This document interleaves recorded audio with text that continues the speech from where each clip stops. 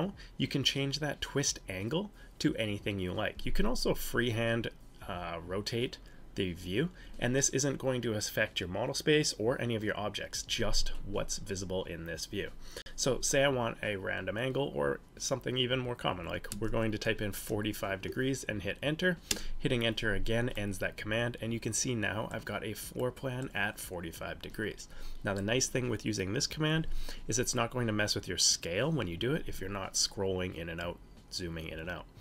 But now I've got a 45 degree angle view of my floor plan or part or whatever I'm showing and I can simply relock my viewport and now I can move it back around click to get out and I've got a 45 degree view on this one and a 90 or perpendicular up and down view on this one. You can see all of the objects are still the same objects. The view has just been rotated.